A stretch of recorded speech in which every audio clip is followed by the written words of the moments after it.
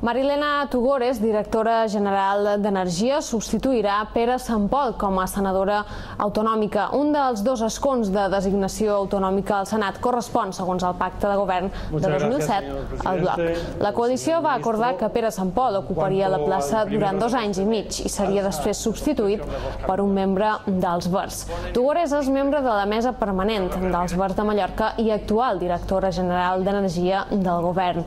El relleu es produirà al mes de febrer en el propi període de sessions després de l'aturada de Nadal.